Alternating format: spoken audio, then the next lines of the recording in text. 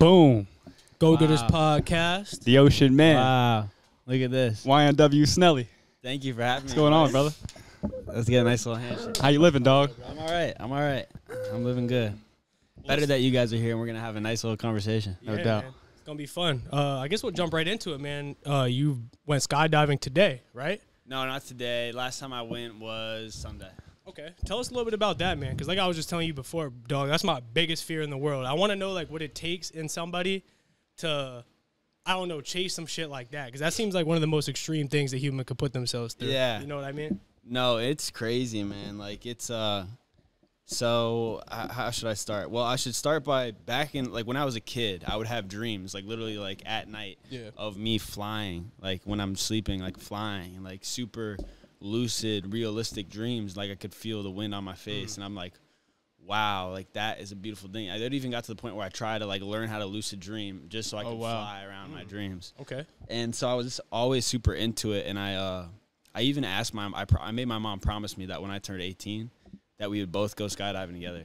And that's, that's when I did my first jump when I was 18 with my, with my mother in Hazleton. Um, and I was like, wow, this is, this is amazing. Like, this is fucking sick.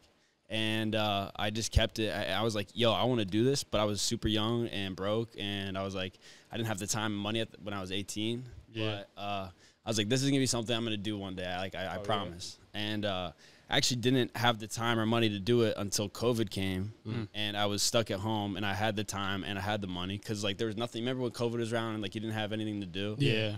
So I was like, yo, I'm gonna get into skydive. I went back the one day, uh, randomly to Hazleton, 30 minutes from here, and uh, I'm like, yo, I, I want to like, I want to get into skydiving. And it's, Hazleton's a special place. Uh, it's ran by Don and Darlene Kellner. Actually, Don just passed away last year. Rest in peace, Don Kellner. Shout out to the Kellners. And he's a very special person because he was actually the world record holder for most skydives.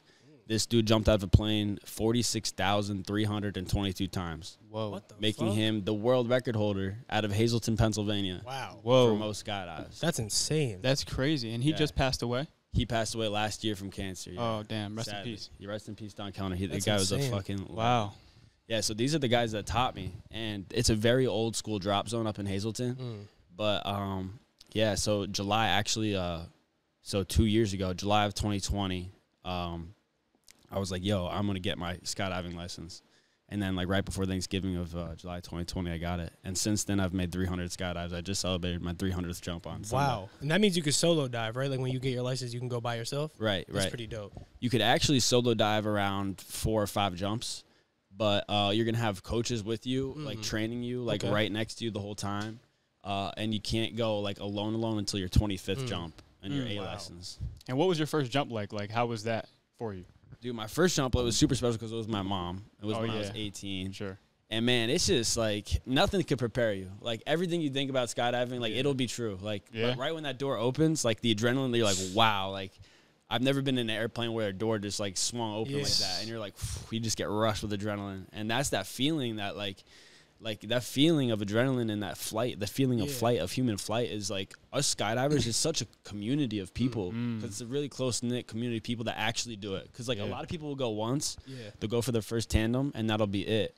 And they'll be done. But like, there's some people out there. I'm one of them, and it's just a community of this like the, this family of people Yeah. that jump out of planes, that jump, and there's so many levels to it, man. Because one, uh, you could start wingsuiting, you could like base jump. That's you Yeah. crazy, like, bro. that Wingsuiting? is- Yeah, that shit's wild. There's like damn near no safety there. Like, oh, like you're really relying on straight Dude, training. I that's mean, I don't crazy. understand it enough to really know like how safe it is to do some shit like that. But that looks like the scariest thing you could do. Yeah. In terms of No like doubt. jumping No, out of anything. Yeah. it gets serious real quick. We actually this it's been a really rough week for skydivers, but more importantly, uh, base jumpers in the wingsuit community. Um, we lost three people in the past five days from Wow. base jumping, my wingsuiting goodness. accidents.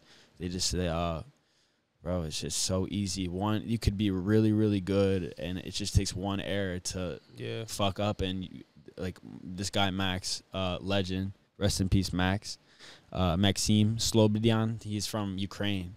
He's got this guy. Like I met him in the Maldives. I got the chance to go there on a sponsored trip, um, and skydive. I met this guy Maxime, and he had like the most like infectious like love for the sport of skydiving. Like every we call them loads, like loads. You get on a load to go jump. like every load he'd try to get on it like he wanted to be like he he jumped like more than 8,000 times like this Mm. kid was a legend but he was only 31 years old and Wow. he he just lost his life on Saturday from jumping and oh shit man it's crazy man. Yeah, that is insane, man. I mean, part of me has to believe though, like in chasing what you love, doing that, yeah like there's no not. I mean, obviously he went too young, but I couldn't see like in his mind going out any other way. Like, at Exactly, least bro. he went out doing what he loved doing. You know what I mean? A hundred Yeah. percent, man. That's what I mean. That's what we're all kind of saying too. Yeah. But it was crazy because like the guy he was jumping with, like these two guys were jumping together in Switzerland, Mm. and like Maxime passed on Saturday. Yeah. Like you'd think that'd be like you know that you would stop and be like, yo, like my buddy just passed, you know. But Mm. Two days after, or maybe a day, all the dates are mixed up. There's a lot of like weird information going around right now because it just happened. Mm.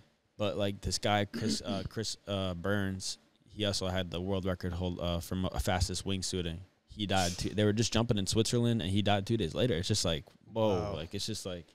Did that make you rethink this new hobby that you found? So here's the thing, though. Like skydiving is actually very safe. Mm. When we're talking about skydiving and proximity flying is what they call it. When you jump off a mountain or a structure with a Yeah. wingsuit and uh, you proximity fly like through the ground and like that's the dangerous. Every, uh, I think I looked up the statistics when this just happened recently. Uh, one in every 500 jumps that they do, someone dies. Oh my goodness. shit! And then uh, for skydiving, though, ah, I forget what it was, but there was millions and millions and millions of skydives in 2019. Only 15 people died. And the 15 people that die, like it wasn't somebody that goes tandem, like it's your first time. It's people that get so good at this sport that they uh, push their limits. You know what I Mm, mean? And there's a thing called swooping where you fly really low canopy, uh, like uh, like basically my canopy that I fly right now is 150 square feet. Mm. But the smaller canopy you go, the faster you go. That Okay. makes sense. And these guys like they swoop, so they'll like Do them flips. do a right? 260 or something, two seven, and I haven't gotten into it yet. And then they come in super fast and just Oh. like glide in with their canopy. But you Oh could my just hit the ground. It's so easy to mess up. But what I'm saying is skydiving is a lot safer. Uh, I'm jumping from 13,500 feet usually. I have two uh, parachutes when I jump. I have my Yeah. main canopy and my reserve canopy.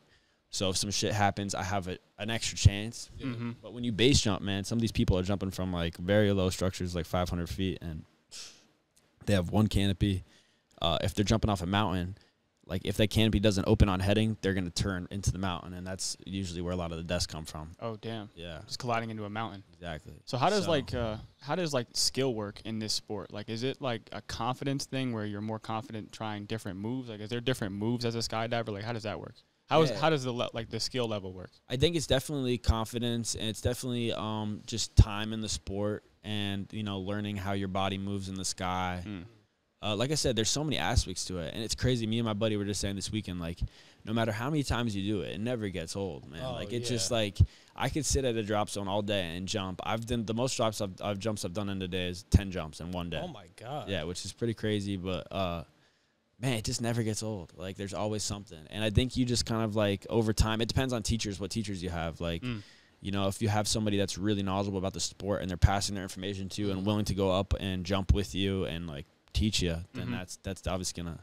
And like you said, your your confidence level, but you can't get too complacent in the sport because Mhm. that's when shit goes wrong. Yeah. that's when Yeah. like you, you're con- you're so confident to the point where like you could fuck up really easily and you could lose a life or take Yeah. someone else's. Yeah. Like you could collide with somebody in the middle of the air. Yeah, type shit. Like That's crazy. Do those nerves ever go away though? Like when you're standing there at that door and that shit opens and like you feel the air and everything, you know is like go time. Does that shit ever like get easier? you'd be surprised, man. Actually, it does. Like, uh, and that's where it gets a little bit, but it doesn't at the same time. Yeah. You know, you're always gonna get that feeling of adrenaline, and I think that's what we all trace. It's Yeah. actually on this. I have the one tattoo on my I whole was body, literally just looking at that. I was thinking and, about and that. that is the chemical structure for adrenaline. That's Wow. dope. So That's like, sick, yeah, it's man. one tattoo.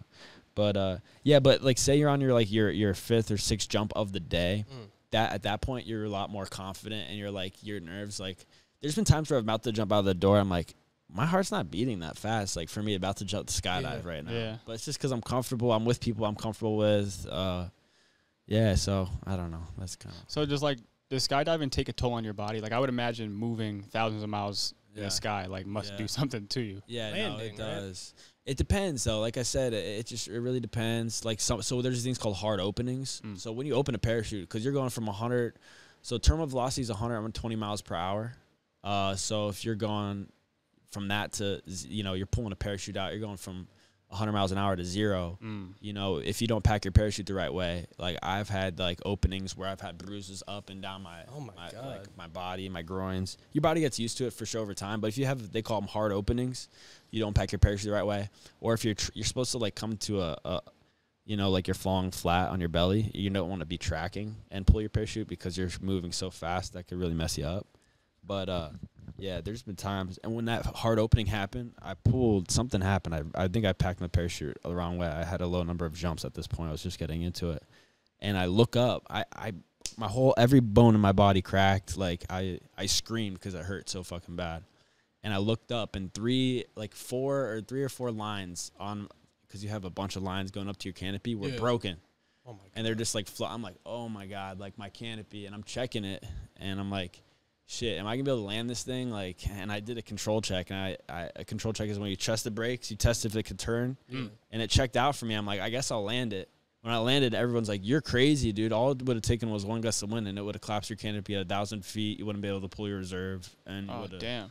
fucking." Is that something that like sparks you up though? Like afterwards, like is that type of adrenaline and that type of like, like going against something like that? Is that something that fires you up? That Oh, type yeah, of that for type of risk. Yeah, I no, guess. it definitely does. I mean, that's like I said, man. That adrenaline, that feeling of adrenaline. There's nothing like it. There's no drug, no out, nothing in the world that can match that Mm. feeling of of of, of flying. That's Of interesting. Skydiving. I can only imagine, man. That shit sounds crazy. Like I said, like that in terms of like my bucket list and all of my fears from like the bottom to the top. Mhm. That's probably it. Like once I do that, I think I'll be satisfied. Yeah. fucking with life, man. I, I gotta do it at some point though. I gotta. I gotta Man, let's set it up, man. Let's I do go, it. I go Sure. most. I go most weekends if I'm not Oh, doing man. something different. I go most weekends. Mm. Um, up in Hazleton. Um, they have a really dope. They have see they have drop zones all over the country, and they have drop zones all over the world. Mm. Um, I was saying before how I met Maxime, the guy that passed in Mhm. Maldives. That was Mhm. a very intimate and special trip that I Yeah. got the chance to go on. Uh, there was only seven Americans there, me being one of them.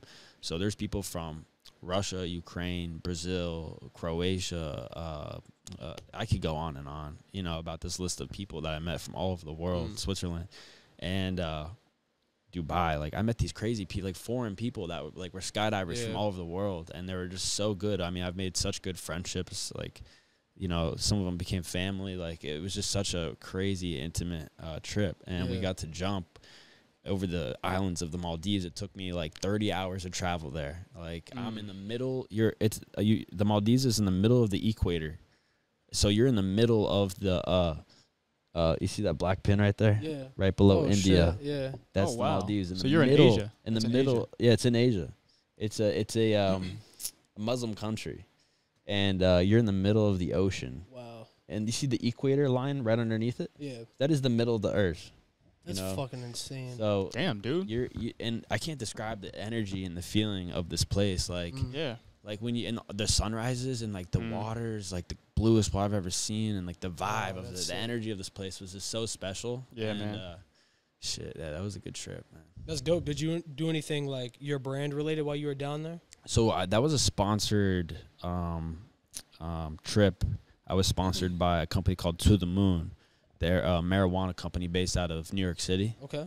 And I locked in a contract, and they paid for everything. Oh, that's sick. So I did. I spread my message about Save the Wave a little bit, especially because we were on like this island and Yeah. stuff. But it was for To the Moon, so I was spreading To the Moon, Mm. and I was Oh. repping their brand and like making TikToks for them, and uh because that's the thing. Like I leverage my my my following on social media because I and skydiving like. I know I bring something to the table for brands, you know what I Mm. mean? Because one, not everybody's skydiving, and not everybody has like a following where they can, you know, maybe get views on TikTok Yeah. or whatever. Right. So I leveraged that for brands to try to get uh, deals so I could go jump for free. Wow. That's really cool. Are you working on your pilot license too? Yeah, man, that's what man. Honestly, like uh, skydiving and I so uh, I did save uh, you know save the wave uh, uh, in 2019. I started save the wave and I Mhm. went hard until 2020. And when COVID uh, came, that's what it kind of like. You know, it really screwed me over, and I had to come home. And we can get into that a lot. You No know, I'm sure we'll talk about Save the Wave in a second here. But uh, you know, once I started skydiving, I got super into aviation in general because I'm in Yeah. planes all the time, and it just really took over my life. I was like, wow, like I love skydiving. One, and so I became obsessed with it, and I, I you know I grinded super hard for like a year skydiving. Then I'm like, yo, I love flying. I want to I want to learn how to fly planes. Like you know, I'm just like letting this like my my uh just my intuition and like you know I'm letting this life like take me where it wants because Mhm. like if I feel passionate about something like I go towards it and I'm I gravitate towards it and I've just been super into uh all around flying parachutes. I'm, I'm getting my pilot's license right now. Yeah, That's like, That's I have sick, like bro. 25 hours of flying right now. And have you flown?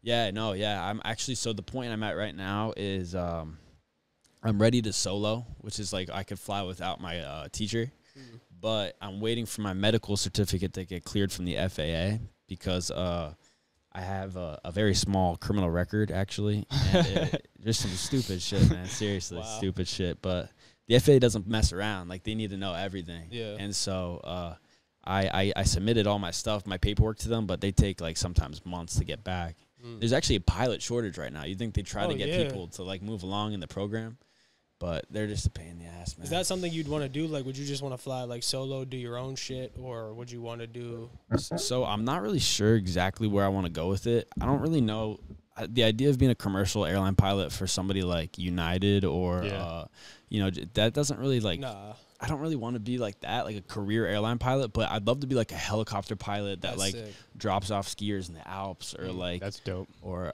like helicopters what I've been going towards or just even like so dude if I found like a billionaire and I was like his private jet like pilot Mm-hmm. you know he could p- pay me like a quarter mil a year just That's to be sick. on call for him and like I could just you know fly him around and that's only when he needs me Mm-hmm. so my whole idea right now is like if I can get to that point then if, if I could just do something where I'm on call being a pilot then I could do save the wave then I could do all these other things you know what I mean because Save the Wave is like my passion project Yeah. where I, it's like my baby where I give back to Mother Earth. You know what I mean? So I never want to get rid of it. You know, I want to, I want to always have it, but I need to have a secure income. You Hell know what yeah. I mean? So Oh yeah, bro. that's kind of my I don't know. Right now I'm just trying to learn how to fly. You know? That's a beautiful sick. philosophy, though, man. And I, I identify with that a lot. Like just following your intuition and going where this life will take you. Like, Yeah. and and following where you're, like, drawn to Right, and what's yeah. attracted, to, like It's what's attracting important. you. Exactly. I feel like when we're young, we're more in tune with that. But as we grow older and like authority figures start to plant voices in our heads and tell Mhm. us what we should be doing, yeah. go to college, get a job,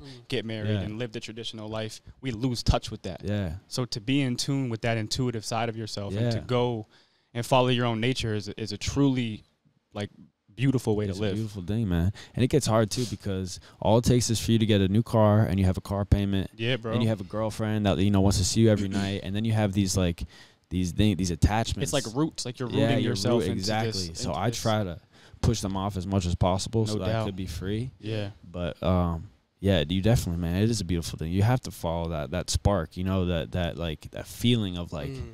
like what really interests you. You know, Mhm. when you're sitting in the shower and you're like, you know, you can't stop thinking about this thing, you know, or like you're waking up and what's the first thing you wake up think of when you wake up in the morning? What's the last thing you think of when you Yeah, to bed? man. That's usually the most important thing. So. it could be anything. There's so It many different it changes, styles. man. It changes. does. Uh, There's no rules to this shit. man. Yeah. There's no rules to this life shit. Are you into like manifestation and attraction and stuff like that? I see you write a lot in your notebook, like goals and stuff like that. And it All seems day. like human beings have this weird power source that we are Oh, in yeah, touch bro. with, but a lot of people don't understand. it. I don't think we truly understand it, Yeah. We don't. but man. it's it's a real thing. I think. It is. It is. And I think now with the power of like where the internet's at, where you could spread like Yeah. you know your your your messages so easily, and you you hear something, you're like, yo, that makes sense to me. Yeah. Like, you know that like mindful like that does make a lot of sense to me that we could like. You know, these words that we that we speak are super powerful, man. No doubt. Oh, it's like yeah. um, there's something like uh, uh, uh, like what like what you say. You know, it's like spells every time you say something. Like Yeah. it's like you're really putting that in the out in the universe. You know, you're, Yeah, you're putting bro. that energy out there. So There's this uh, there's this one book that every entrepreneur should read. It's a it's a cool little book. It's called Think and Grow Rich by Napoleon Hill. I'm sure you've Uh-huh. heard of it. Yeah, for sure. And in one of the one of the chapters is called auto suggestion, and it's it's this Oh. idea. He stud this guy Napoleon Hill studied millionaires, studied billionaires, and yeah. the commonalities between them, right? And he noticed one thing that they all had in common was this thing called auto suggestion, where they have a way of speaking to themselves and Mm. kind of speaking in a way that they want something to happen. Like, you know, they'll they'll affirm themselves. Like, I am powerful. I'm capable of achieving X, Y, and Z. I'll make, you know, a quarter of a million dollars this year Mhm. by doing this. And they're very specific about the metric of their goals and so on. And they just kind of plant this within their subconscious mind and Yeah. And see, you could work the opposite way Yeah, though, because if very you're like, much. if you're saying I'm a piece of shit, like, yeah, Absolutely. I, I hate hate this nothing, job. like I'm, I'm a nobody. like, Yeah. I'm a- what do you think is gonna happen then? Yeah, man, if you keep saying that you and- that's all your things to yourself. crazy man. We Yeah, got to we got to wake up, Yeah, no doubt, hundred percent. no doubt. If you program your mind, your body will follow. I forget who initially like coined that quote or whatever, but I definitely Ooh. believe that that's true. Like, Yeah, hundred percent. you could tell yourself even the smallest things. We talk about it on the podcast all the time, but even the littlest shit, like you could change the littlest thing about your life every single day, Mm-hmm. and at some point it'll lead, it'll blossom into something amazing. Your 100%, body will definitely follow your mind. And ju- I like I like how you said that too, because I I think a lot of people don't touch on that. How self-destructive the mind could be towards the body as well. Right, right. And I've said I've struggled with that, man. Like, I've really struggled with that. As everybody does. Yeah. But um, you know, it's it's talking about and having conversations like this where we're like, yo, this is like a thing. You know, this is Mm. like a real thing that like everyone's dealing with. And spreading the message, man. Yeah. Go follow your dreams. Go fucking skydive. Go skydive, Go man. Life's shit. way too short, man. And I'm gonna be honest with you, everybody watching this that's curious about skydiving, like your first tandem jump is say is the safest thing you could do. Honestly, I'm not gonna say like you have more of a chance of dying on your way to go to skydiving in your car than you do skydiving. Yeah. That's nuts, though. One thing I wanted to ask you too. I mean, I guess it's a simple one, but what do you think you or what do you feel like you're called to more, like the sky or the ocean? So that's where it's like really fucking hard, dude. wind because or wind or, or water, it's brother. hard, man. Because here's the thing, too. like the Avatar. It's crazy. and that's where I've had a lot of like self, uh, like, oh, like where am I? What am I doing? Like where am I at? Because it's two opposite things. Because I got Yeah. here saving the ocean, you know what I mean, putting like my all into like protecting our Earth, Yeah. and then obviously flying isn't good for the ozone, like emitting all those like, uh, you know, uh, emissions and yeah. Like man that's not good. So it's a very contradicting thing.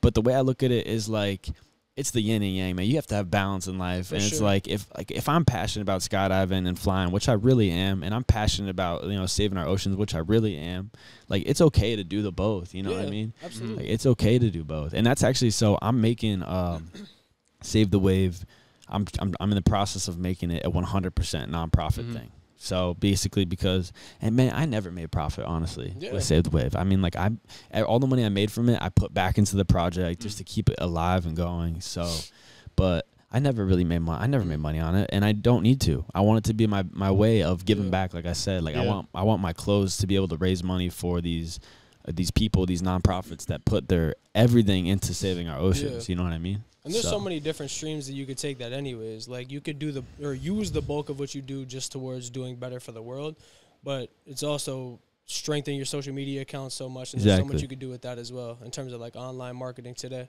Yeah, man. so it's- much shit you could do. Yeah, so it's kind of hard. So like right now, I'm definitely in like a you know flying skydiving phase, but I'm trying to bring it back and do like a little bit of everything. You know, especially because we got this dope ass warehouse now. Yeah. Hell and I actually have space to like work and grow and like have a place where I could like make clothes and stuff. And it's really dope to have this warehouse now. And I'm, I'm really gonna start get into uh, Save the Wave again and start making clothes and like selling them. So That's interesting, man, because uh, I'm, I kind of relate too. Like you have a lot of pots, and it's Mhm. sometimes when you have so many different pots or so many different passions, it's hard to water every one of them. It and so maybe one might not be growing mm-hmm. with some of the other ones that you're passionate about, Yeah. and that's kind of a difficult thing, like to compartmentalize within yourself as a creative person. So like, Mhm. how do you go through that? How what's the mindset like with it's that? It's hard, dude, because um, like I have the like Save the Wave, man. I started and so I started this when I was 19 years old, and I, I just had this like you know I've always been passionate about our Earth and you know you know just kind of being mindful about like this is our, our mother, you know. Yeah. Earth is our mother. We have to give back to it. We have to you know nurture her, make Mhm. sure she's doing okay, or else we can't be here. Um, and I, I had this idea. Literally one day, I'm like, save the wave. Like, hey, I just save the wave, save the wave. I'm like, I'm gonna do this, man. I'm gonna go like help save our oceans because I see. I started seeing all this stuff on social media of like, you know, the state of our oceans, all this plastic bullshit, you know. And I felt so called. Like I felt like I literally had like it was like a very spiritual moment I had with myself, and I was like, I need to do this. I had such a calling, and I was like, I'm putting all my eggs in this basket, and I'm doing this. I was like, I need to get a bus. I need to travel around our Mhm. coast and do this. And I, I did that shit when I was young, 19, 20 year old kid. I was 20, like uh, right. Uh, and I started Save the Wave July 15th, 20, uh, 2019. Uh, I was 19 then. And Hmm. I, I literally just this young kid. I'm like, yo, I'm gonna, uh, I'm gonna sell all these clothes. I'm gonna travel around the Yeah. coast and try to save our oceans. There's so much clarity in figuring out that what like what drives you too. Like you figuring that out at such a young age is so cool. Do you see yourself getting back into that whole traveling around like the coast back in the van pretty soon? So that's hard because right now the bus is in bad shape. Man. Yeah. To be honest, completely honest with you, it's Where is uh, it? Is it out here somewhere? It, it's at, it's at my parents' house. okay. Uh, We have like uh, a bunch of acres, like land, Yeah, and yeah. it's just sitting in a field right now, man. As sad as it is, like it's just not doing good. It's Mhm. just like, and I've put so much time and my energy and money into that van to try to get it going, but it's like I'm at a point now where I have to make some really big decisions because I could either dump thousands and thousands of more dollars into it, Mm. but I, it, like it's not meant for what I want it to be. You know what I mean? I bought that thing for sixteen hundred dollars when I was nineteen years old. Yeah. off the side of the road. Yeah. You know, it has one hundred eighty thousand miles on it. Granted, it's a diesel. I think it, the engine could go farther, but the Mhm. whole it's really not good right now. Yeah. So, actually, I've been thinking about it, and I kind of want to sell that, sell my car, and get some money together to get a nice like Sprinter van yeah. that I could like idea. like a nice one with AC and like because bro, I had no AC, I had no electrical outlets, I had Yeah, no man. running water. Damn. It was just me and my sweaty friends in this van, fucking on the beaches of Yeah. America, doing these beach cleanups, like selling these clothes, just trying to make it, you Mm. know. And I'm a, and I'm a small kid. I'm a young kid from the five seven zero from Mhm. Northeast Pennsylvania Mhm. that is pushing his limits and just trying to, you know, spread good messages, Yeah. spread good energy, and you know. But man, I raised thirty over thirty grand in one year yeah, man. that That's first sick, year man. for our for nonprofits fighting for our orphans, and I did that shit, and I'm proud of that. Oh yeah. Should you know? and there's so much beauty in that because there's not a lot. I mean, at least from what I see going on around here today, there's not a lot of people trying to give back to the planet in that regard. They're just trying to suck as much out of it as they could before they Yeah. leave. And that's always been a thing for me is to just have you know to give back to her, you know, and just try to make a good impression. And you know, it all comes down to my mom, how my mom raised me too, because she's super environmental and Mhm. mindful and spiritual. She's a beautiful woman. I love my mom. Shout out my mom. I love you, mom. Shout out She's Mama definitely gonna Snow. watch this. No doubt. Yeah. So, um, yeah, man, Save the Wave is a, is a is a beautiful thing. I love it. It's my baby. Yeah, there's It's so much baby. clarity, man, and figuring that out. Like I was saying, like Yeah. figuring out like that brand, like you get a name for it, you get attached to it, you get a feeling like that it drives you more and more every day. There's Yeah. so much beauty in that. But there's and I've learned so much from doing that journey that I would have never learned in college. I would have never learned Yeah. unless Oh, I yeah. went in, in the real world and like started a business and like started a brand and a, a nonprofit, you know, situation. You know, How about having to prove that to yourself though? Like imagine how that changes the mind. Like, Yeah. whoa, what am I capable of, bro? Yeah, and Like, you really go through the trials and tribulations though, because there's doubt. nights where you're crying in your Oh, arms, like, what am I doing, man? I'm screwing this up. Like, yeah. Especially when COVID came in, that's when it got hard Mhm. because Yeah. I was on, you know, I'm going up and up this ladder, Mhm. and then all of a sudden it's like, yo, COVID's here, you have to stop. Yeah, And I'm like, yo, what? Like, I'm just getting started. Right. Like, I really think all the time, where would it have gone if COVID never came? yeah. Because I got stuck in Florida. I basically went from Ma- Por- uh, Por- Portland, Maine, all the way down the coast, the East Coast. I wrapped around Florida, and I was in Tampa when COVID came. You remember when COVID came? They're like, yo, two weeks, everybody Yeah. chill Yep. for two weeks, and Mhm. it'll be over. So I chilled for two weeks. And uh, me and my boy Cato, brother Ocean, love you, brother Ocean. He's out in California, great dude. And uh, we're chilling, waiting, and it never got better, you Mm. know. And we're like, eventually, I was like, I have to go back home to Pennsylvania and just be there for a little bit because I can't just be in my bus, you know, just waiting for Right. Everybody's wearing masks. Everybody's like, "Yo, don't touch me! Like, don't Yeah. talk to me." And it's a the whole world changed. You remember that? Yeah. Yeah. Yes, bro. So How did that feel being that many miles away from home and like really not knowing what the fuck like your future was gonna hold at that time? You're basically just trapped and so however far. thankfully, my father still lives in Tampa, Florida. Oh, okay. So it was actually perfect because we stopped right there, and I was Mhm. able to pull my bus like right next to his house, and we had like a place to chill at.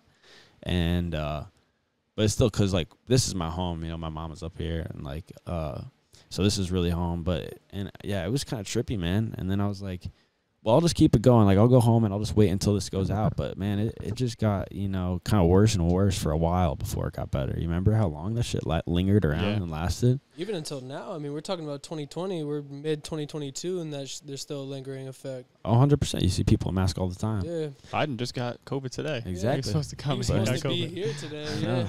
I Shit's guess we don't have le- we have a lot less traffic today because he got COVID. Though. Yeah, right. Fuck so yeah. so if you so the li- how the timeline lands up. So COVID happens in March of 2020. You know I'm waiting around you know forever, and I start skydiving in July of 2020, and then my whole life it kind of merged because I'm like I get obsessed with skydiving. Yeah. and I go bananas with that man. I start like you know, going out just trying to learn. I dump, I go broke doing that Yeah. basically Yeah. because I'm like, because it's expensive. It's expensive in the in the beginning, but uh, man, I just it, my whole life kind of changed then. So Well, how about? Go ahead, my bad. No, I was just gonna say, uh, COVID was probably a blessing for you in that regard. Then, like, do you think how quickly do you think you would have picked up on the whole idea of skydiving if that had never happened? Shit, I don't know if I would have, man. Yeah, that's- Seriously. And that's why it's weird. To, it's wild the way the wo- world works. You know, I think everybody thinks COVID's a blessing in disguise at this point. Yeah. You know, because and that's kind of how it always goes, man. It's like you know, it's never the end till it's the end. You know, and it's uh, all the stuff that happens. Uh, it's for a reason, man. It's for you know, it's part of the a book that you're Yeah. writing of your life. It It's definitely legacy. It Yeah. jump started this whole thing for us too, because like I mean that was at a point in time where I really didn't know like what the direction of like my life was going to hold at that point. Wow. Because I mean there was really no idea, like there was no telling what the fuck was gonna happen Right. in the future. So it kind of backed me into a corner and almost made me feel like I was forced to figure out a different route to take in which. Because I, I had during that time in life, I was working, I got laid off from my job like three times. So it was to the point where like I almost, well, I had a bunch of free time regardless, so I almost just had to go all in. Right. Wow. Yeah, all I really had back then. But go ahead. What So, were you uh. You decided to raise money with clothes. Yeah. What got you into like building a brand with clothing and clothing and that type of aesthetic? You know, it's a really good question, man. And clothing has always been a part of my like. I mean, You were into the fashion, the elite socks and yeah, shit like that. as a like just like uh, I mean, up until like you know middle school, where I'm like, yo, I'm sorry, I could like dress how I want to dress. Like, yeah, this looks good. Like this is style. Like The this is, expression like, of. Yeah, the expression of clothing. yeah. And I was also really big into thrifting. Okay. At a very young age, and like just being able to go to Sally's and with a few bucks and be able to get like some banger T-shirts, Yeah. you know, just by finding them.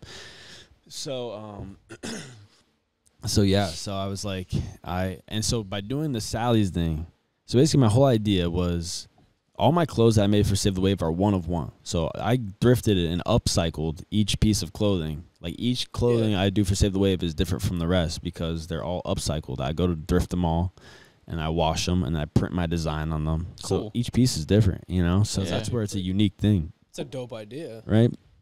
So everything's one of one. And I really stressed that too when I was doing Save the Wave. I was like, yo, each of these pieces are one of one. They're upcycled clothes. And that's on the environmental end of it. It's perfect because they're like, they're, you're not making new clothes. Clothes are actually super bad for the environment, too, Yeah. by the way. So it's like, I was like, yo, this is like, uh, this is perfect. You know, I could go. There's an, in, infinite amounts of blank t shirts and hoodies and flannels and Salvation Armies all across the world. Yeah. And if you don't buy them, they're just gonna go and get like ripped up to be, I don't know, like rub washcloths and shit. I don't Yeah. really know, but uh, yeah. So, but clothes just always resonated with me, man. Even like when I was in like high school, middle school, it was definitely like uh, uh, you know, uh, like streetwear, like Supreme and Yeah. that type of shit Yeah, too. yeah. And then it kind of blossomed into just like my own thing. And my Yeah. style's always changing too. It definitely like, but clothes are important, man. It's definitely how you express yourself. Yeah, it is, hell man. yeah. It's really Especially cool. Today's day and age, it's like one of the most important. Well, a lot of people feel it's one of the more important things about like your individual character. A lot of people are big into fashion today. hmm for sure.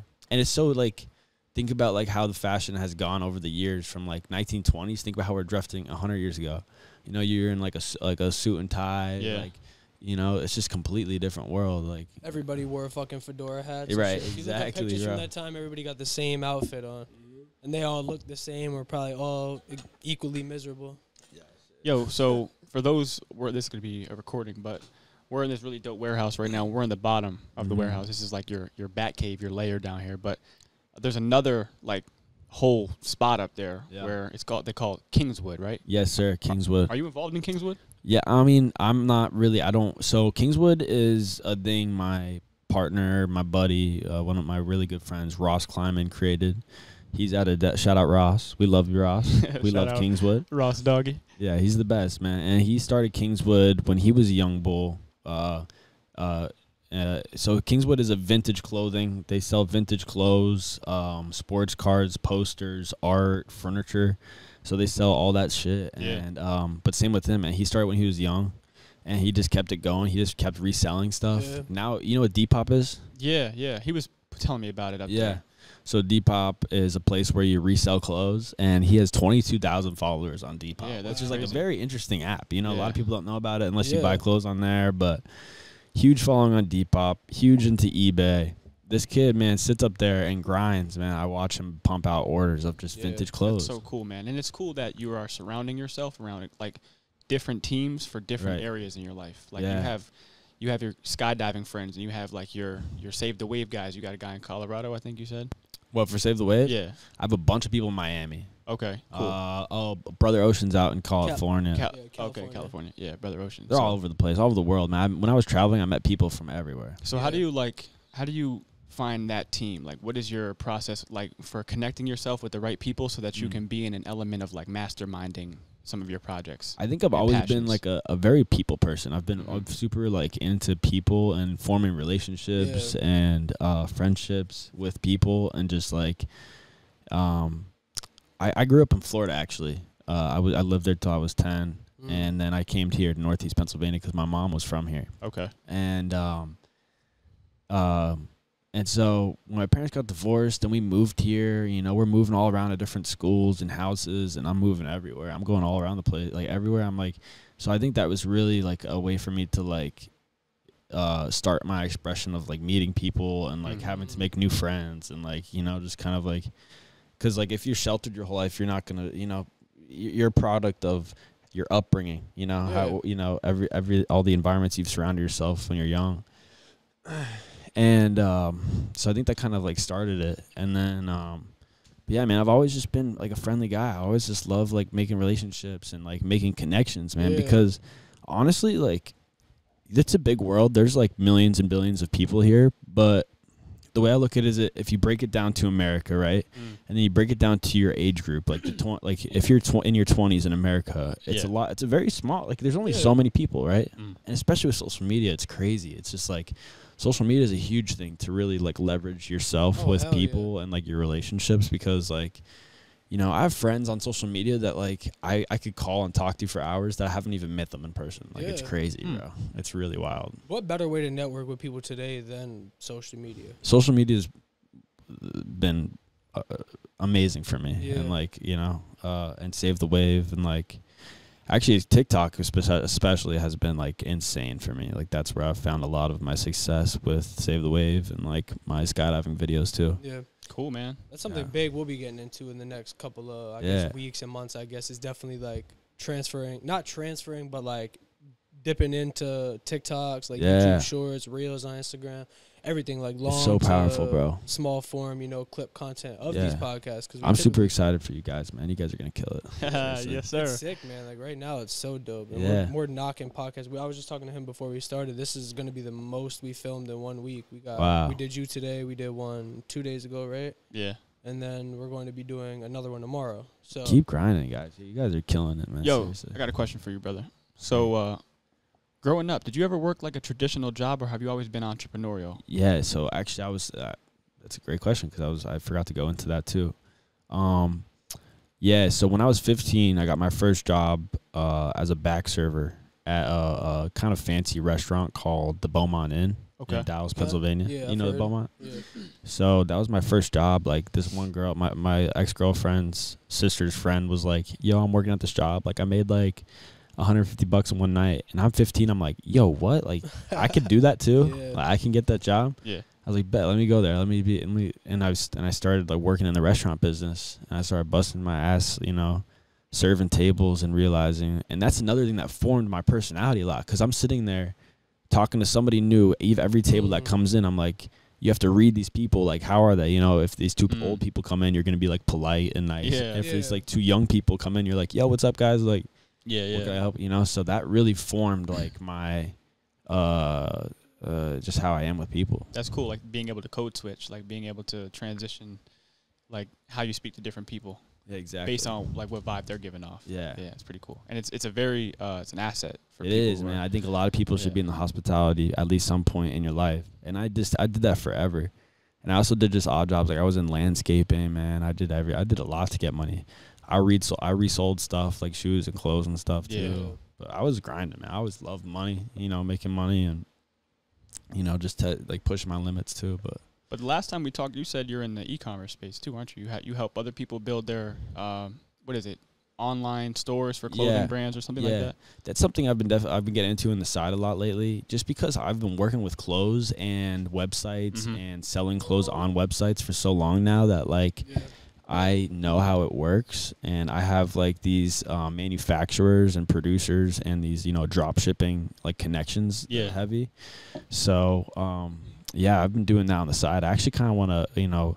You know, I, you know, we are talking about the pots, like you know how you have Yeah. all these different pots. Like this is just another one of my pots that I'm like, do I really want to make this like a, a public thing? Like, do I Mhm. want to do this? Like, you have to be really careful about like what you make public or not. Oh, but yeah. but no, I love it, man. I so yeah, I do. Um, I basically like so if you had um, let's just take my friend for example. Um, he cliff jumps like that's all he does, and he makes content of him jumping off these Cool. cliffs. yeah. Yeah, his name's Ryan Popoff. He's a dope ass dude. R Popoff on Instagram. Please check out his clips. I'm shouting out all these people. I love you all. That's Yeah. Show love, man. It's the number one way. But I'm literally like, I was like, dude, when you are ready and you are ready to sell, um, you know, clothes. Bro, I found this kid when he had like 2,000 followers, right? And I, Yeah. he, his his jumps, I'm like, dude, you are wild. Like, Yeah. You're gonna go places. like, la- like I, this is a crazy story actually. And la- like 10 days ago, he just hit 10,000 followers. oh, nice. Yeah, which is a Yeah. huge milestone for people, you know, Mhm. influencers on Instagram. Mm-hmm. And um, today I just checked his Instagram. He has 26,000. Oh yeah, he's from around So here. in 10 days, Texas. oh, okay, got you, got you. In 10 days, bro, this kid went from 10,000. Like, he took a long time for him to get to 10,000. Yeah. But then we just went from 10,000 to 26, 28,000 Mm. followers in 10 days. How about it? It's just crazy, getting bro. That, it's getting over that initial hump. I think It it's like when you go from your local people and like Yeah. friends and family members viewing your shit to like the world pushing Right. your content out on different platforms. Which is a trippy thing when that happens, man. Yeah. You're like, yo, this is wild. Yeah. When you finally like realize that like people that aren't just like people that fuck with you obviously are watching your shit. That's such a great feeling. Like some bro, of the, that's crazy. most of the subscribers and shit we've been getting recently are all just random people. Uh-huh. It's such a good feeling. Bro, just wait for it, man. You guys are in for a ride. It's like you can't even fathom that. Like think about ten thousand people watching you. Oh, Yeah, it's it crazy, doesn't even bro. make sense. Think about that number, ten thousand. Like damn, Yeah. that's And that- crazy. those like a couple niche million. Groups, Like damn. those niche groups though, like no matter where you do it on Insta, like if it's an Instagram page or a YouTube channel, like people will group to that because there's so many people out there that fuck with what like that guy's doing, and they Right. can't really get it from anybody else. Exactly. Only a select number of people really Yeah. willing to put their Yeah. life on the line like that. Yeah, And that's I- cool. But yeah, and to go back to the e-commerce thing, but I told him basically, I'm like, yo, when you're ready, like to have like if you want clothes, I can make him a whole completely custom website Yeah. and sell everything for him. You know, all I needs, I just need to get him some samples of some clothes and stuff. But if he gives me the green light, like I could run his whole shop for him, Mm. and I don't even have to touch the clothes. Like I have a guy that will make all. You know, I just have these connections, so it's like Yeah. But I'll get a piece of it. You know what I mean? Mhm. Obviously, I'm gonna get a few bucks, but I'm making it easy for him. So all he has to do is focus on jumping off cliffs and making his content, yeah, Mhm. doing what he loves which is to all he should do focus on, because that's what will get more people and followers Yeah. following him. But then he's selling clothes, and then he's making money, so he could keep doing his thing. Yeah, and then, man. Like my uh, manufacturer is making money because he's printing the clothes, and like my distributors shipping them. I'm taking a small piece, but that's kind of like where I, I kind of want to. I had this idea of making a thing called Rocket Ship Studios, which could be like my creative section because I've always done creative work. I actually went to college for two years at Wilkes for uh, digital design and media art with a minor in Oh, marketing. wow. Cool. Yeah. Pretty cool, man. So I actually dropped out to do Save the Wave. Yeah, I saw the video on your YouTube. Go shout Yeah. out. Go go fuck with the YouTube. yeah, go too. see it if you really want to dive into me. My there's a bunch of cool shit on my YouTube. But um, yeah, man, it's just there's endless possibilities with the with social media, man. It's crazy. I'll actually I wanted to say too. I'll never forget when I was doing Save the Wave, and I finally got to Florida, and so like I started from nothing in Maine. Like I started with like uh, you know 1500 followers in Maine, and Yeah. by the time I was in Florida, I had like close to 10,000. You know what I mean? Mhm. And I was in Florida at a Publix, and I'll never forget this girl's like, "Yo, are you Wavy Snell?" I'm like, "Yo, what? Like that's crazy. Yeah. Like how do you?" She's like, Wow. I follow you on TikTok. I'm like, "Yo, that's so weird."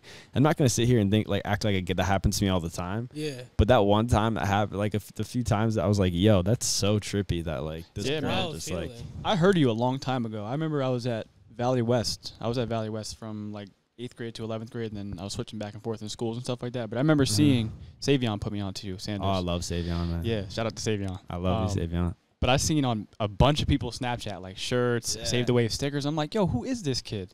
right, and then yeah. You know, a couple I, years I later. here I tried, man. I blew. I put my all into it. Yeah, you did a good job though, man. Like I heard of Save the Wave. I've seen stickers on cars all over the place. I've seen people wearing shirts Yeah. before I even knew who yeah, you were. that's dope, man. So How about that? That's like amazing too, because you know like what you're doing is bigger than you at that point. Yeah. Especially like when you run into somebody somebody halfway across your fucking country that knows who you are. Like that's a big that's a big Yeah, that was accomplishment, trippy, man. It really was. So yo, That's what do you think? Uh, like for because a lot of creative people watch our podcast. We have a lot of friends who are, are right on the cusp of just taking that leap and doing Yeah. their own thing. So what do you think um, is the best way to go about building a brand? That's a that's a good question, man. Like how do you creatively build a brand that Yeah. builds that is attracting a community Yeah. behind you with a message that's important too? I think the most important thing is being true to yourself. You know, I mean, like you can't fake it, man. Seriously, you mm. can't fake it at all. And that's where I had a real a lot of trouble with Save the Wave because when I got really into skydiving and flying, it got to a point where I was like, you know, I, I, I was giving up on, on on my baby. I'm on Save the Wave. You know, I stopped I stopped believing in myself and Mhm. like you know, and that shit will tear you up. But um, you know, because like I can't fake it. I can't sit on my social media and be like, yo, say, you know, if I'm not really feeling it, you know what I mean? I'm not going to do it. If I'm not really like, I'm not going to be unauthentic and be like, That's the worst. so I really had like, um, like, uh, like some demons, like I'm fighting demons here. Cause I'm like, Mm. yo, like, I feel like I'm like, you know, it, it's it's trials and tribulations of shit. And, Mhm. you know, over time it, it worked itself out and I'm trying to learn how to balance everything, but be true to yourself. Uh, consistency is the most important thing, you know, Yep. being super consistent with yourself and like, with starting a brand, like just make sure that you're consistent as a motherfucker, man. Like just keep that thing rolling and uh yeah, be true to yourself. Consistency and be true to yourself and you know, just willing to try, you know. Mm-hmm. You can't you, you can't you got to try, you know, cuz you can't just like you know, um I I saw this one thing where it was like you can't just if you release a song, you can't just put it on your Snapchat story once and think that it's gonna blow up. You gotta really like put it out there and be Yeah. like, "Yo, Yeah. listen to my song." Like, "Yo, this is my song." Like, go up to people, and be like, "Yo, this is my song." Yeah. Here's a music video for my song. You know what I mean? Yo, Yeah. listen to my song. You know, just like you gotta really, you can't just put it like, "Yo, here," and then like hide in the corner and hope that people, because nobody will go out and like actually like start like looking at it. You know, Mhm. you gotta like really be like, "Yo, this is what I'm doing. Like, go Mhm. check this shit out." Be proud of it. Be, proud, of what you're it. producing. Be proud of it. Yeah, Hell yeah. Exactly. I think that definitely makes people want to tune in more. Like when you show how passionate you truly are about what it is that you're doing. If you're just Mhm. fucking off and just doing it just to do it, I think people will really see that. Like in Yeah, your content. Hundred percent, man.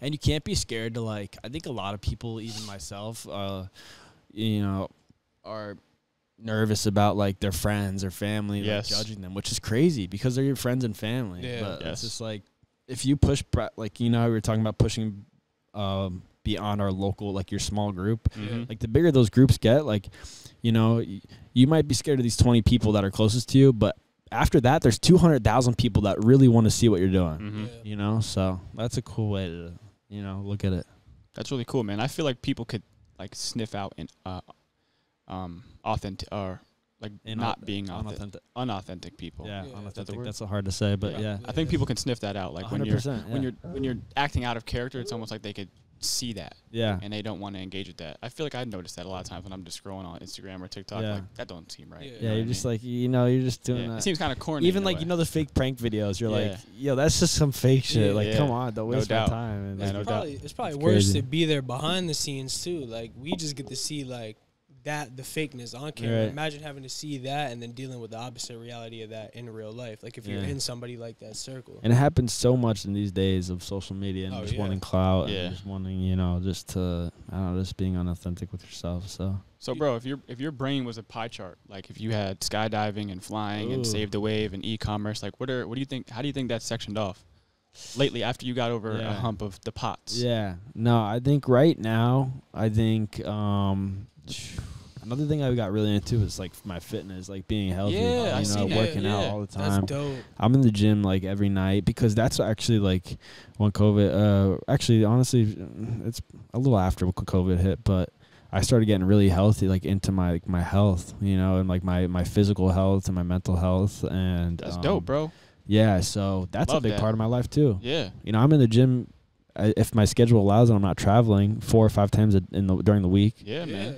And you know I'm pushing weights and I'm in the sauna and I'm like I see you've been hitting the bag speed too. bag, man. I love the speed bag. Yeah. That even has a little pie in my chart. Yeah? too. Yeah. So Is this speed bag? it's hard to say, man. So uh, right now, I'd say flying has been because like you can't slack off of flying. You got to like really pay attention to it. Right. Oh, yeah. So Yeah. that's been like my biggest. That's probably been like my like fifty percent of my time. Half the charge is yeah, flying. uh, right, right there. Fifty percent is gone. Yeah. and it's actually no. I'd say twenty-five flying, twenty-five skydiving. Okay. I'd say sa- save the wave. I'd probably give it like, like honestly, like a. So I got fifty percent gone. Doing mental math in. I'll do tw- I'll do twenty percent for save the wave. Okay. But honestly, it deserves a lot more of my Yeah, time okay. and energy. It does, which it'll it, it's happening. You know, and I'm coming Mhm. with now the warehouse. I have finally have this space because I just got this space like together like two weeks ago. Honestly, Okay. this space because man. I've been all running all around the warehouse. We're trying to fix stuff up. Yeah. So now that I'm here, I'm gonna dedicate a lot more time to save the wave. But um, so I'll give that twenty percent. So that's seventy. I'll do like the rest just myself and you know my, my mental health you know making my money uh, working out my family i had a death in the family recently so my grandfather rest in peace pop d he was a badass RIP.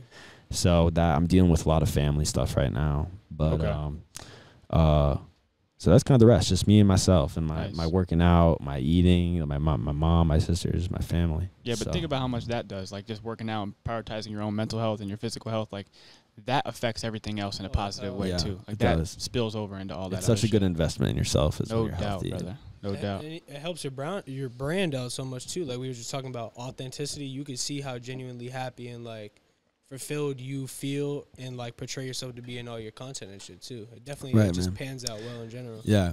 No, that's definitely a thing, man. Because like there was times with like Save the Wave, man, it got hard to the point where I'm like, uh, jeez, man, like this is like, you know, like I, I can't like, you know, because I gained so many followers from Save the Wave, so I'm sitting here thinking people just want to see me doing Save the Wave, but it's Mhm. like I'm so in love with skydiving and flying, so it's like hard to put like a happy medium on both Yeah. especially with like the whole saving the world and like you know ruining the ozone and like just Mhm. thinking about all like the people thinking so you're constantly like you know you're your own you're the biggest judge of yourself Yeah. you know what i mean so i'm Yeah. sitting here like oh like uh and it gets stressful man try, Oh, having a following on social media and trying to keep like uh you know these people entertained or keep Mhm. people like updated with your life it's like like there's points i I have a really bad habit with being like I'm not posting anything. Like there's like like once COVID started till now, like you should you could see like I've I just have been slacking a lot with social Yeah. media, but it's just because I need to worry about my health, I mean myself Mhm. and my health and my family. That's cool, though. More important. That's definitely important, man. You got to prioritize. Shit And we like have that. time. Yeah, we have time, bro. Like, we are young men. Yeah. Yes. fuck So uh, I don't want you know I want Save the Wave to be a thing when I'm 70. You know. Yeah. So I, I and that's where I, I fought a lot of demons too, because like I was like, yo, I gotta save the world like this year. Yeah. Like when I started, I'm like, yo, I gotta save the world like right now. Like I gotta do this, and so I would drive myself crazy because Mhm. I'd be like putting all this pressure on myself, when in reality, like. I'm the only one that's doing it to myself. Like Mhm. nobody else is up at night thinking, "Yo, Josh Snell's really fucking up right now." Like, Yeah, right. so, but yourself. Yeah, but it's good to be self-critical. I think I It think is. That's what pushes a lot of the most ambitious people. It does. And people who are the most accomplished and do the most things is because there's always that little voice in the back of their head, like I could be doing more. I could be Mhm. doing more, and it Yeah. puts so much pressure and a fire under your Mhm. ass. Like you just gotta move, man. Yeah, So sure. it's a gift and a curse. it is. It's a gift and a curse, but uh, Being able to balance it out's important, though. Oh, yeah, brother. So I think, uh, like, yo, are you um, like, do you think you're a structured person? Do you think you had to develop some organizational skills to put yourself in these posi- like in this type of environment, so that you could like consciously put some effort into some of your some of your endeavors and stuff like that, or do you just go with the flow and just figure it out as you go? I think it's a little bit of both. Yeah, I think it's a little bit of both. I definitely am not like super organized. You know what I mean? Like, yeah, there's times it's a dope and space though, bro. Like it looks like It you got some shit figured out down and I'm super stoked about it because, um, you know, there's a lot of space, you know, for me to like breathe Yeah. and like work and create, you know, and like I when you when you know how we were setting up, and I was like, you know, this having your own environment and the energy in your environment is super Mhm. important. Yeah. Mhm. And so I'm super lucky to have this space. And shout out Ross because he found it, and you know, um, he's like the king of this place. But I mean, this is ten thousand square feet of fucking warehouse, yeah, and there's just uh, like um so many possibilities. So like I'm still technically living with my parents, but I'm I have a huge warehouse where I could come and Yeah. create and work. Yeah. You know what I mean? Hell so yeah. it's pretty very dope. important. It's Pretty better. dope. It's definitely better for you to separate your home environment from your work environment as well. I've noticed that a lot in doing what I do. For sure. Yeah, it really is. I don't feel nearly as productive at my house as I do like when I'm in the studio, like where Yeah. we typically Mhm. film at. Facts. There's like Yeah. those little tricks to be able to shift where like the attention of your mind is. Oh, like yeah. if you're at, if you're at home sitting in your bed, it's hard for you to save the world, right? Like, Yeah. you just want to sleep and lay down and shit like that. But at the same time, it's not easy to work out in your bed in your bedroom and stuff like that. So Yeah. by putting yourself in the gym, it's like all right, now I'm in this mode, and like you're kind of biohacking yourself and you know Yeah. For sure. changing your Man, environment. I remember the like when I first started Save the Wave, it was such like a random like I just put all my eggs in one basket. Like I saved up so much money like serving tables and like doing this stuff and I put it all into like my bus and my clothes and this this project. And you could tell, man, like I like you learn I learned like quick, you know, like what it's like having a business, what it's like living in a bus, Yep. like a hot bus during the summer when it breaks down in the middle of the road and you can't get it started and all this sh- I have so much shit. I have no AC. I'm sweating balls. I miss my family. Mhm. Like if reality happens quick, man. yeah, but you learn a it's lot about yourself in those Yeah. situations. You too, do. bro. You No threw doubt. yourself to the sharks, man. Yeah, I really you got to figure out how to fucking sink or swim. You know Yeah. what I mean?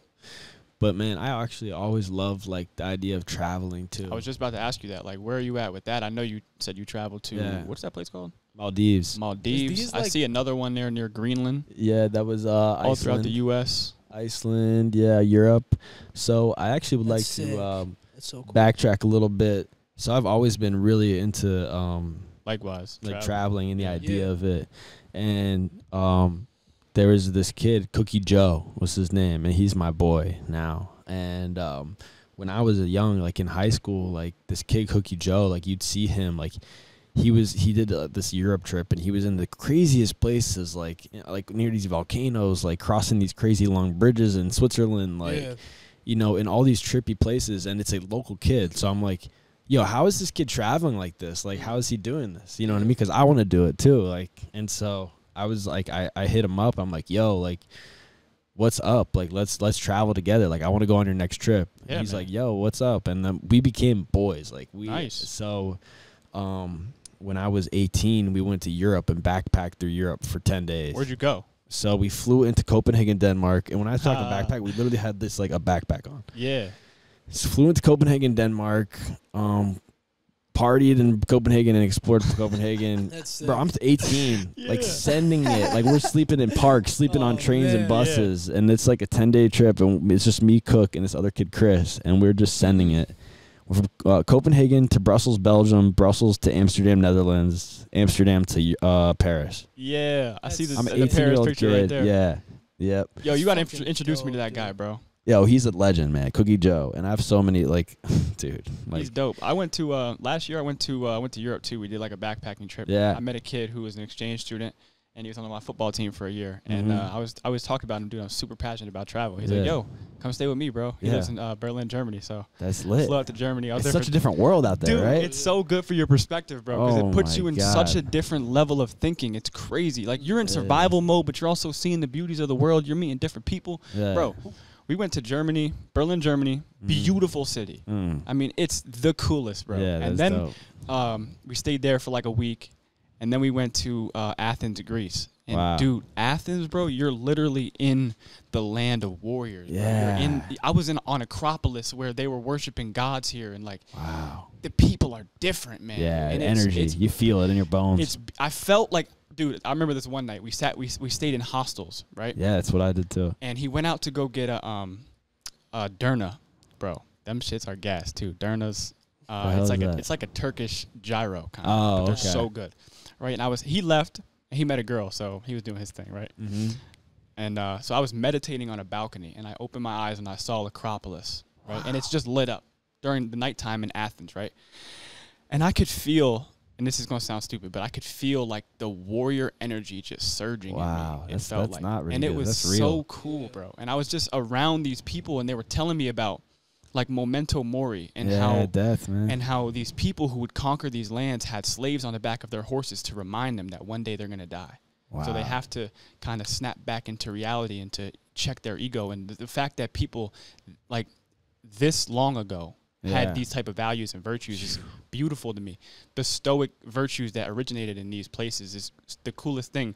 And then we went to Netherlands, Gre- uh, uh, Amsterdam. Amsterdam, bro. Woo, that's a wild place, right? then it got crazy, and then it That's just when it gets up. crazy, bro. So- That's when it gets crazy. Amsterdam's a special place. Yeah, how But, long yo, did you that's, stay there? That's energy, though. That's pure energy that Yeah, you're brother. feeling, bro. It's and you, you get surrounded by it, bro. Those are like the people that were that there before you. Like they were, were Yeah. there were warriors there, man. it's crazy, bro. That's a real thing. There's some deep history in these places, and Europe's crazy because you can go to all these places. Like and it's all close together. it's, it's like America, but Yeah. each state is its own country, Yes. and it's just trippy because like you're moving around and like it's beautiful, bro. Like it's like mother, it's like history and and and these crazy like ah, Amsterdam's crazy. It though. is, dude. Amsterdam's a different place, bro. different. You You, go gotta to- go. You go, you go out right, and it's like eleven o'clock at night, and there's guys pulling up to you on bikes. Go ecstasy! I have Yes. it all, my friend. Everything. and you're like, whoa, bro, get away from me! Like Shoving it like this. scared. Yo, here. it's crazy. And then you'll see people tripping around like on the street. You don't even Uh-huh. know what they're on, bro. Yeah, no. go down these streets, and It's there's real. Wow, It dude. gets real. there's these red rooms with just women just Yeah, the, offering the red light district. Red Yo. Light district, yeah. Me Dude. and my friends walked through there like, yo, Oh, this is different. It's freaky, bro. Yeah. It's it's so much different. The world, is- it. Oh man, it's And- a beautiful thing. That's why I I, I I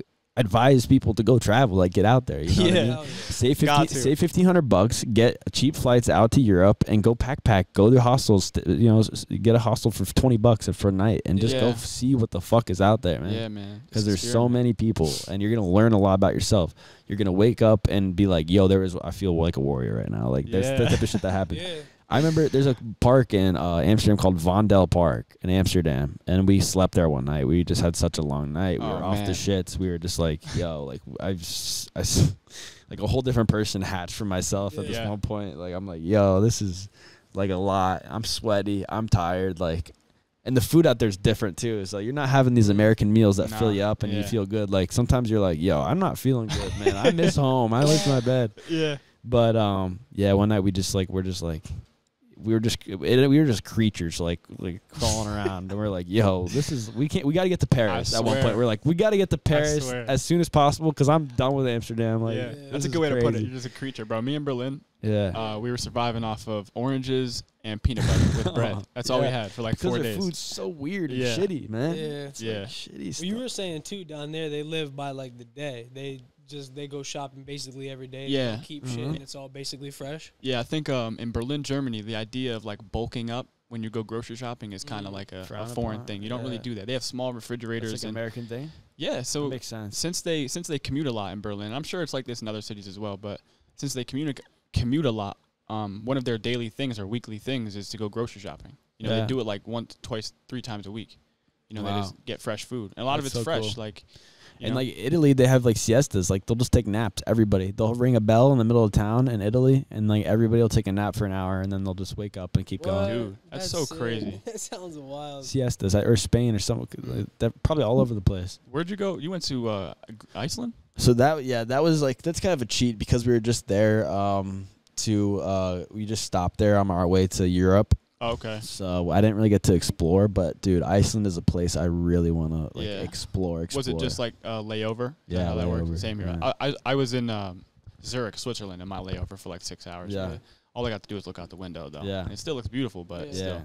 But even just being there, you're like, yo, I'm here. I'm Yeah. here right now. Like this is sick. I want. I wish I could go explore, Yeah. but um, yeah.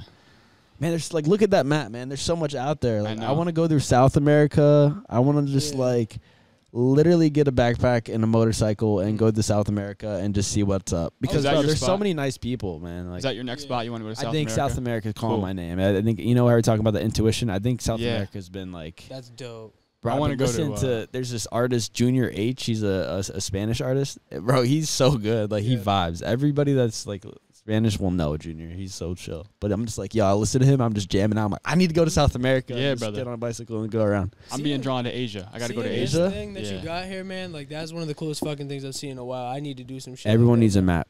Everybody needs a map of the whole world in their room. Yeah, but Seriously. Cool. Not Cool. even just that. Like I like how you like thumbtack all the different Uh-huh. spots that you've been to. Like that shit's so cool to me. Like I would love to fucking Where'd you get that make map? it a goal to fill. My some mother like got that it for up. me for Christmas one year. That's dope. It's a good Yeah. idea, man. I'm gonna have to get a, a map for my room. You Yeah, really that's need one, dope. man. Because to yo, you can get you'll just get lost in it. Because look at all these countries, man. Yeah, right. Yeah, There's no way you can like. There's gonna always gonna be a country you're seeing. you're like, I didn't even know that was a place that was real. You know, And we're on the smallest little pinpoint. there in the smallest little pin. We're we're microorganisms, It's nuts. I but we mean- have this at our disposal, and I'm not gonna go my whole life just staying in one spot. Like I need Oh, to see what's up. no, Yeah. I wanna see probably the what's up. coolest- That's probably the coolest way you can live your life, man. Is literally just like, is there anybody out there that's fucking crossed every not uh, obviously not every inch, but has visited every single Yeah, country? Yeah, yeah. That There's one people girl- exist. There was this girl, you know, There's Seek like- Discomfort, the brand I was telling you Yeah. about. There was a girl that dates one of the guys that owns that, and she was the youngest woman ever to. Wow, she Travel. just did that soon. She just did that recently. Yeah, it was like a year or so ago, but uh, yeah, it was pretty dope. So the thing, people do it now. They're trying to do it as young as possible. Mm. There's this pilot that's trying to be the youngest pilot that goes to every country or something. Mm, wow, dude, that's so cool, man. Yeah, So fuck piloting's been a big thing too, because I'm like, yo, because I love traveling, Sure. right? And so, That makes sense. Those piloting work hand could- in hand with each other. dude, like, if I, you know, like I was talking about that, like if I find a billionaire, you know, I said before, like, dude, if I'm on call and I'm bringing this billionaire, he's gonna go to somewhere foreign and exotic as Yeah. fuck, Mhm. and he's gonna pay for me to stay there too. Hmm. So that's like, you know you what I mean? to I'm gonna world. I'm gonna see the world. I'm gonna be able to fly to different. Like, yo, once I have my pilot license, I could fly from Wilkes-Barre and I can go have lunch in Cape May for the day. It'll take me an hour to get there. I could have a lobster roll and then fly back. Yeah. I could rent a plane for like 150 bucks an hour, Yeah, and I could fly there, bro. That's sick. yeah, man. One Like, day we could fly. We, we humans could fly. How About about it? a, a cockpit podcast. We're just going Yeah, to be dude. One day, let's do Whoa, whoa, it. whoa, whoa, whoa, just talking shit.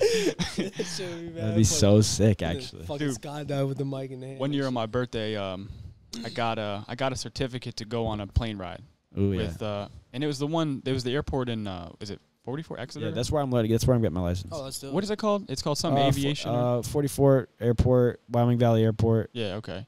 And I just went up there with some dude and this Valley little, Aviation. Va- yeah, and his little plane. Cessna. And dude, we were like, since the 182. I think so. I don't know what it was, but we were flying this little plane, and he took me from here to Berwick in like 20 minutes. 20 minutes, yeah. I was like, dude, what the heck? And look, everything looks so small, and it's just, yeah.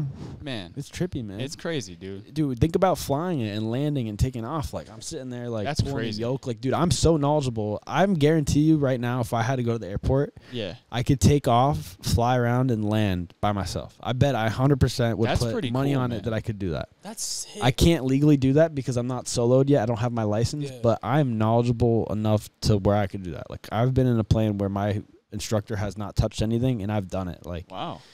so that's trippy, man. It's cr- and I have dr- the crip, trippiest, trippiest dreams of me skydiving and flying. Like you would never believe. Like of these situations where I'm just like dreaming, and I'm just like, yo, I just was flying planes all night in my dreams. Is it possible to do some shit like where you can fly a plane to like a desired jump destination, switch out, and then be the one that skydives as well?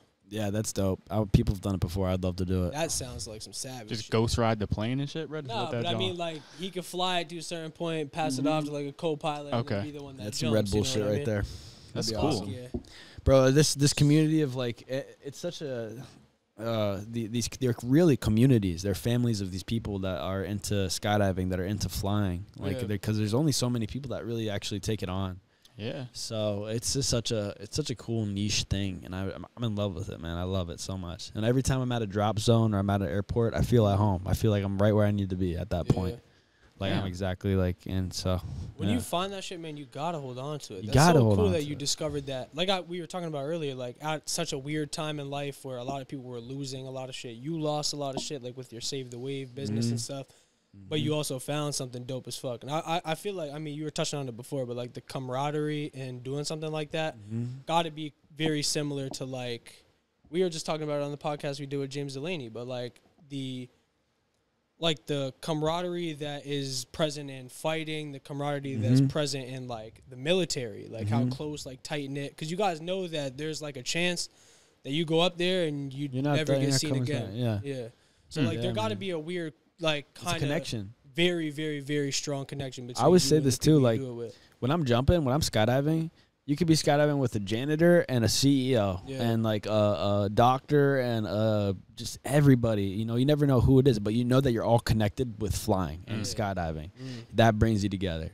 And so I meet all these different people that are doing all these different other stuff, but what brings us all together is jumping and we're so passionate about it and we love it and it's just like something that like that feeling of flight like it's like almost like a relationship like a girlfriend or like uh it's just so fucking amazing it's a drug. man. it's a drug it's a it's a beautiful thing man And I have to imagine like you as well as all the other people that do it. Like you guys got to be some crazy motherfuckers.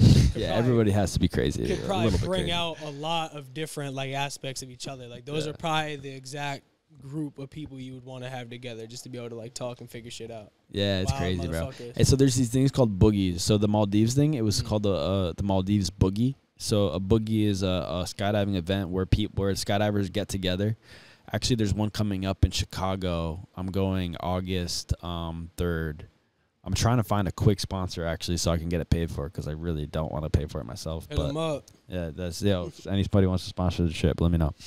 but um, I um, I'm trying. I'm, but it's called Summerfest. It's one of the biggest boogies in America, and there's gonna be like hundreds of skydivers there in Chicago, uh, Skydive wild. Chicago, and it's literally just gonna be like it's a week long thing. I'm only going for the last four days, Mm. but uh, it's just gonna be a bunch of us jumping together, partying at night, jumping during the day, That's fucking sick. vibing. I wonder how that would look. I didn't even know people did shit like that. Oh, it's crazy. I'll show you a video of these people after the podcast. It's like, dude, they have DJs. There's literally hundreds of skydivers that just come that together. sounds dope as fuck. Yeah. man. The Well, probably like I is said, wild conversation. Everybody bro. knows. Skydivers? Everybody comes together with skydiving. Like, Everybody's just It's a family. ready to go. and at night, like you're not jumping, so we're getting, you know, you- Yeah. you, have a few beers. You know, you're having, you're getting a little fucked up, and people come from all over the world, though. Some, some, some people. So Oh, This to be be fun. a skydiver. I believe it, man. That fucking boogie, boogie, down. down. yeah. perfect name for it too. Yeah, Fuck right. yeah, that's literally a boogie, man. Fuck, I don't know, man. I, I try to like really think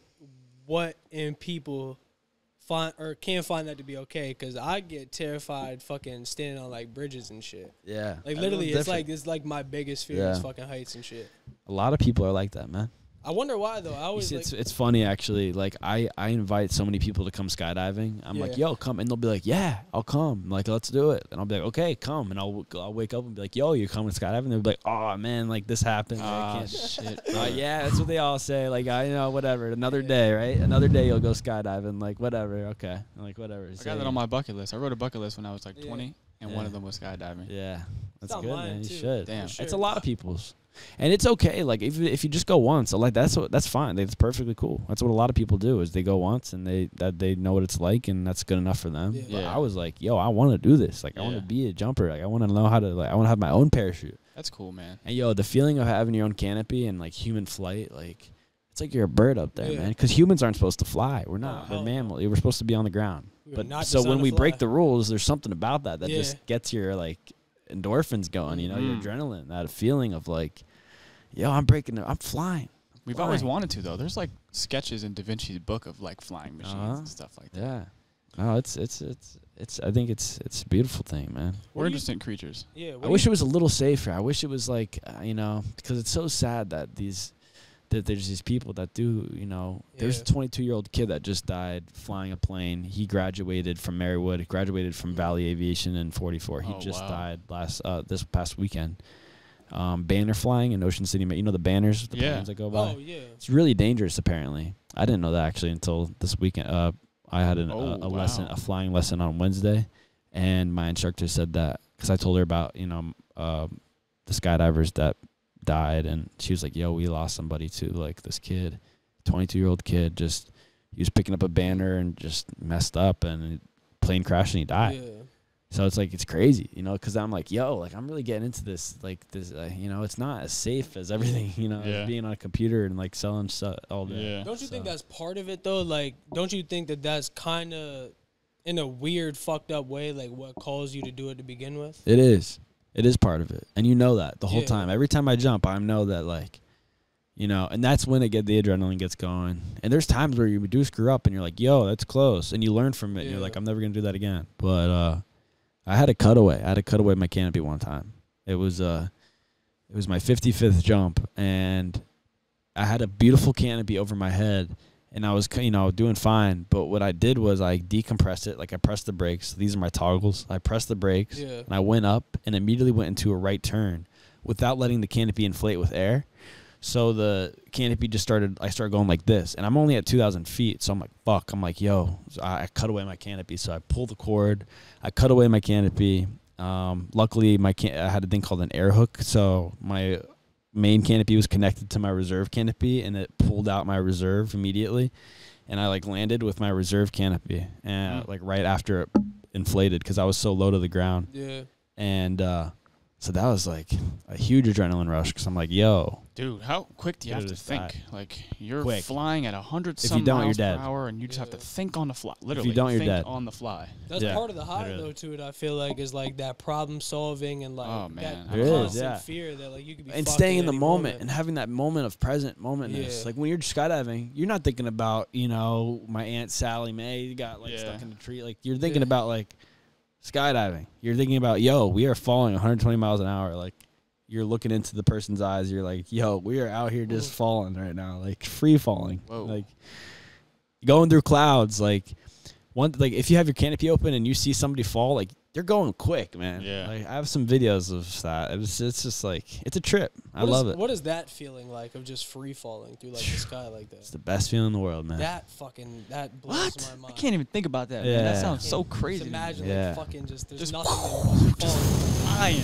Like you know like the fucking I've gone over adrenaline- 200 miles an hour. Yeah, that's like this. insane. What the fuck? through the sky at what? At yeah. How high are you? Like Uh, I start from 13,500 feet. 200, 200 miles per hour, just from thirteen thousand Like, feet. dude, just like- flying. Have you ever 200 fucked miles an around with like the hour wingsuits or anything? I'm about to get into it a little bit, but I am not. See, dude, it's the the base jumping community took a big hit this week with these three guys dying. Like three in five days is like, yo, that's a lot, man. It really Yeah. makes you think about like, yo, you could you could die. Yeah. You Yeah. could die. These guys died. This kid, it's no joke. Maxime isn't here anymore. It's it's it's just like it's really sad, man. He's a 31 year old kid. Like, just like he he he expected to land. He had his like, you know, his like you know lunch waiting for him. Maybe like he had a girlfriend. I've been talking to her, trying to help her with her heartbreak. Like I, it's just like, but dude, it's just it's hard. It's a really like. So yeah, I kind of want to get into wingsuiting, but I'm I, the whole community right now is a lot really like, yo, like this is real. Gotta take it easy for. It's a little bit. realistic, like Yeah. it's like it's a wake up call. Like, yo, you you're playing with you know your life every Yeah. time you're doing this. Fuck yeah, man. There's But- not many things like that. There isn't, there isn't, man. And That's pretty crazy, man. Being in the sport for the past two years too, I've seen how many people have died, and it's just like. It's is trippy, man. So I try to be as safe as possible. Right now, I'm still just skydiving like a regular skydiver. I haven't base jumped yet. I haven't put a wingsuit on, and I'm okay with that. I because that time will come, and uh, when it does, I'm gonna be as safe as I possibly could be. Yeah. I want to make sure it's something I want to do. I want to make sure it's something that I'm, I'm willing to risk, you know, because How did those guys land though? Who just have like the squirrel suits. Like, do they have a parachute? What they do is they come to a point and then they s- they flare, and their suits are able to get them high enough to an altitude where they could deploy their pan- their canopy, Oh, okay. and then their canopy will just come out. I oh, see. wow. So they flare like really high. Uh, dude, those guys are they call it proximity flying. They're nuts, man. It's it's it's Yeah. that's really the most dangerous is Dude, proximity. we got to get one of those guys on a podcast. Yeah, Yeah, dude, be I could get that easy. I have a lot of interesting skydivers if you want them. Then. That's Yeah. like the best people to talk to because it's just like trying to fucking pick that apart. Like, what in your mind causes Right. you to want to do Yeah, some it's shit? the What like kind of psychology? do You should. got You, to do some I have to like introduce you my boy Johnny DeJulius. Uh, he's a crazy base jumper. He doesn't Yeah. do the wingsuiting thing. Uh, he doesn't proximity fly, but he jumps off like bridges and antennas and mountains. Oh and wow. yeah, he's and he's uh, he wrestles too. Like um, he's a crazy good wrestler too. Like Wow. huge wrestler. Fuck it, man. We would talk So- to anybody like that. That's such a cool mindset, or like just any like that's just such a cool passion to have. Yeah, it's it's a it's a it's a trippy thing, man. Yeah. What trips me But out dude, is it's like, just like think about we live in a world where we could do this. Like think about how Oh, yeah. cool it is that we have all these things that we could do. You There's know? Yeah. endless possibilities. It just sucks that you only get 24 hours in a fucking day. Yeah, and you only get so many days, and you only Yeah. get so many years. Yeah. They keep going by. yes, sir. It's it's trippy to me that you have to pack your own parachute. Like you have to, like do that right. And if you don't do it right, That you could could be really it. fuck it up. yeah, that's crazy. I just beat my record for the fastest I've I, I could pack a parachute in six minutes. I wouldn't want to pack it fast. I don't think. Like, I I would just be in that bitch like, like with a ruler and shit, Yeah. like a making fucking sure. magnifying Yeah. glass and shit. Like, so there's these sure things called good. hop and pops. It's where you get to a certain altitude and you de- exit the aircraft and immediately deploy your canopy. Mm. So with those, um, you don't allow yourself to hit terminal velocity yet. So the openings are a lot smoother and um, you know they're just kind of like a little more low key. So that if I know I'm gonna do a hop and pop, I'll just pack it like shit quick because I know it's gonna open and. I don't know. I guess I shouldn't do that, but That six minutes is the fastest comes I've ever. That community comes up with the fucking greatest nicknames for shit. Pop and pop. Pop and pop and boogies and shit. Dude, I'll, I'll say one of my favorite ones is they call the meat missile. Oh Like, Jesus! It's when a human is just like falling, Yeah. like Oh, their man. meat. Mi- that's a Yeah. meat missile. Because, Yeah. bro, think about being under an open canopy and somebody just That's probably you're like gonna die. That's a hundred- dangerous, bro. Imagine if you somebody shot a human at you from thirteen thousand feet. You'd probably do some damage Well, with a think human. Yeah, you'd like- explode. People would just start exploding. Yeah, brother. Yeah. It's I mean, you- fucked. You, can't catch somebody jumping off of like say like a ten foot surface. They jumped, you try to catch them. That'd be very hard. Oh boy. Think of somebody throwing a fucking hundred pound dumbbell at you. Like, are you gonna Uh, catch you're it? gonna demolish it. It's gonna Yeah. explode into like Uh, yeah. It's That's really a fucked. hundred pounds. Like fuck, man. That's another thing, dude. It's like I could technically like with with I'm out with skydiving. I could skydive on the weekends for extra money. You know, for that I could start Yeah. skydive if I, I could take if I really wanted to go on my skydiving path. Like I Mhm. could, you know, if I said fuck flying, fuck save the wave, fuck everything else, and I focused on skydiving. Like I'm at the point now where I could do that, but it's just and that's kind of trippy too because I don't know. I, I love skydiving. You I just even- I don't really want to make like one of my favorite hobbies and one of my favorite passions a job. yes, Yeah. I understand that. I mean, getting a sponsor and going to the Maldives for Yeah. and partying and just getting content, that's one thing. Mhm. That's like you're on your own. But being a guy that like takes tandems all the time, I just don't think that's for me. Have you ever So- considered making like multiple uh like pages, like content pages where you do specifically save the wave, specifically skydiving, specifically flying and all that other shit, or are you just under one umbrella of Josh Snell? Yeah, right now I'm I'm I'm just under one umbrella, but I've thought about it. Word. I have some like I, think that would work I have well, some bro. like small like meme pages that I would like just kind of fuck around on like Yeah. but I think so too, man. I'm thinking about that. That might work well. Yeah. Because then you can have multiple ultimately multiple Yeah. sources of well, And that's what kind of like influence. Yeah. What were you gonna say? It also takes that pressure away from you, kind of like you were saying before, of like not knowing whether or not your fans and shit would want to see something in particular. Like if you put up your skydiving videos on your main page, that's like strictly about save the wave and shit. How you were saying before that your fans might not like that Right. as much. That's why could I definitely struggled help with. you in that Oh. regard too. Dude, I got to bring this up too. We got to talk about this, but similar to how Mr. Beast, Yeah. like he'll have Beast Philanthropy, Beast Gaming, Right. specifically Mr. Beast, where he does his wild videos, and he has like all of the different um, languages Like that he does it subgroups in. of what yeah, he that's what I'm saying. And you're Josh Snell, so Right. you have the subgroups of your categories and so on. But Yeah. dude, didn't you say you worked or you were going to work with Mr. Beast with uh, Yeah. Save the Wave and stuff like that? So talk yeah, about that that, was please. trippy, man. So actually, if you watch some of the Mr. Beast videos, um, you'll see my shirts in there all the time, like especially the gaming ones, because, um, yeah, I'm actually super tight with um, my friend Bailey. Shout out Bailey. Um, he's a super dope kid, and um, when I I blew up on TikTok pretty heavy when I was doing Save the Wave. Like I was like doing some numbers on TikTok and Mm. I was busting out some like millions of views. Like I was getting crazy views, and I was Crushing. really like pushing it hard on TikTok. And then this kid reached out to me. He's like, "Yo, like I'm a producer for Mr. Beast. I saw what you're doing. I love what you're doing. I'd love to have you on a podcast." And so we actually did a podcast in his Prius. He had like a whole studio set up like this, like in his Prius. Wow. And me and my boy Alex, who was doing Save the Wave with me, living in my bus at the time, uh, did this podcast, and we formed a relationship. And um, yeah, he's a great kid, and I'm just kind of like super tight with him. And I give him a bunch of clothes, and he gives them to all the Mr. Beast people. Damn. And it sucks though because Mr. Beast did the ocean. You know how Mr. Yeah. Beast did the ocean Yeah. saving Yeah. thing.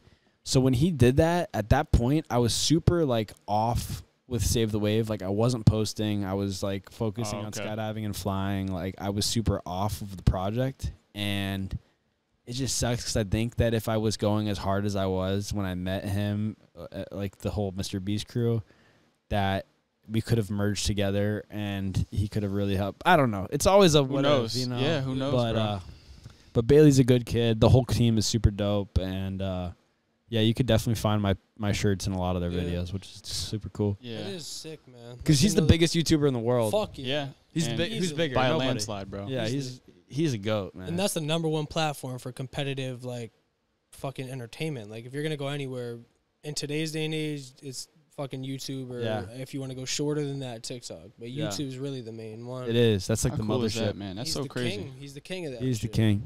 And he, it's crazy some of the shit he pulls off too. I really can't wrap my head around it. Oh, yeah, no, like it's- it's- chocolate factories and Giving people everything, houses, gro- Yeah. like grocery Lamborghinis. You can't even fathom stores, it's everything, everything. Now, you ever heard He's of? brilliant. Have you and I ever talked about uh that social so, sociology idea, that theory of like the degrees? Like there's six degrees to anybody, Yeah. where like there's six connections between you and anybody in the world. Ooh, You know what I mean? I And believe that. it's like a sociological theory. And Uh-huh. with the advancement of social media, they're saying that the degrees are even shorter, like three degrees. But I think this idea originated with uh, within the uh, the movie industry with Kevin Bacon. There was a joke going around like, you know, you're six degrees from Kevin Bacon because everybody did a movie with Kevin Bacon, and in some way you've done a movie with somebody who was connected or did a movie with Kevin yeah. Bacon. So this kind of came into sociology where you're actually six theorized. you're actually six degrees away from anybody in the world. Like, Like you could no matter what, you have a connection Yeah, with some. so like- connections with. So like say, you know, I know Josh Snell, Josh Snell knows Bailey, Bailey knows this guy, and this guy knows Mr. Yeah. Beast. Like that's like four I've seen people on TikTok do that shit too. away from connecting with Mr. Beast. Yeah. Yeah. Biggest That's so YouTuber in the whole entire world. Like Yeah, that is a Yeah, really you cool are. idea. yeah, Yeah. you are. It's crazy.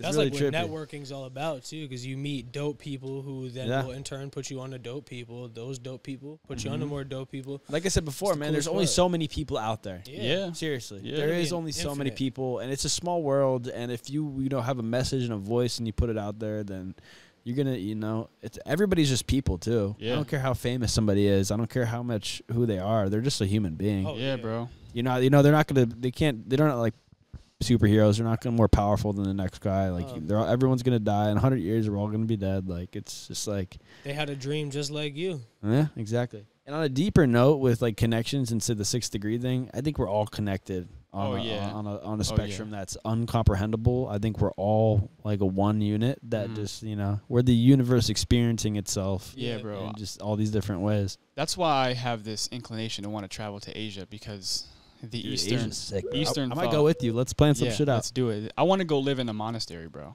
Bro, I, bro, I've my mom. so She's a mindfulness meditation teacher. Like I have so for real? She does mind. She does retreats where she'll go do silent retreats, and she won't speak for a week, and she'll meditate for a week, and she won't speak. And she'll Really? be in a, a mountain in uh, Spain where That's she just doesn't speak, and Yeah. she's getting taught, and they're literally just like um Yeah, for like man. hours. The holy own, man. I love that stuff. Isn't that dude. trippy? Dope, I love that stuff. I got into mindful meditation uh, in 2019. I started with Headspace, and then I've just been doing my own forms of meditation since then. And, and, and the way that it changed my life is actually ridiculous. But, um, and I like to read a Asia's lot. just crazy. I'm sorry, I got lost in Asia for a second. Yeah, it's cool. I like to read a lot, and lately I've been trying to focus my readings on uh, like Eastern philosophy and Eastern thought, and the way that they conduct themselves and how they think and Wow. Stuff like that. And uh, it's a common um, way of the East to believe that you're connected to everybody and you're connected to this world, and we're not truly individuals. Like there is no self. No. You know what I mean? And uh, that that theory and philosophy really intrigues me, and like the way that they live and It's real. how they conduct themselves to live a blissful life, and Right. stories of the Buddha achieving enlightenment next Enlightenment, to this Bodhi yeah. tree, and he just Yeah. let go of himself. Wow. Let go. I think that's the That's coolest trip, thing, man. I get, I get chills. I gotta talk about to your mom though, bro. That She's sounds like some really cool man. stuff. Seriously, and that's the way. I, that's honestly the reason I am who I am. Yeah. is my mom. She's my rock. She's my everything. She's taught me so much. You know, just and having those, um, you know, that spiritual like mindfulness influence Yeah. on me at a young age. Like it just it. it you know, it set me apart from a lot of different people for like you know, because I have I, you know, I think about stuff. You know, think be in the moment. You know, stay present. Like Yes. you know, just all these different lessons that That's the beautiful, Buddhist taught man. her. Yeah. That's beautiful. Yeah, she's a crazy. She's dope, man. She does sound dope as fuck. She actually uh, started. Uh, you said Headspace. She Yeah. started like a thing kind of like that called Studio B, and uh, Studio B is like her startup that she started, and it's doing really good. Like they have like fundraising. Like they have a team of like twenty people now. Wow. Um, it's a virtual uh, mindfulness and meditation program, Mm. Wow. basically. So it's like you could pay. So there's a few different sides to it, but you could pay twenty bucks and get access to all these different like yogas, meditations, mindfulness sessions from all these different teachers from across the world. And uh, they also help like businesses, like let's say uh, uh, Netflix. If she got Netflix as a client, she could like get access. All of the Netflix's employees could have access to all of Studio B's like That's- teachings. Oh wow! So that they can be more productive in, in their respective fields. So I'm proud of her for that. wow, She's man, killing that's it. beautiful. Oh, that's yeah. really That awesome. sound. That's kind of sounds like you. Like you felt this. You felt responsible for cleaning oceans. Uh-huh. It's like almost like your mom had this this uh, this dharma where she had to Mhm. share her her mindfulness and her Yeah. meditation with people. So that's dude, that's so cool, man. Yeah, it's cool. huh? She's That's a- really she's cool. A very interesting person. That's cool. Yeah. And she contributed to who you are now and Mhm. in, in your creative way. Yeah. So For damn. sure.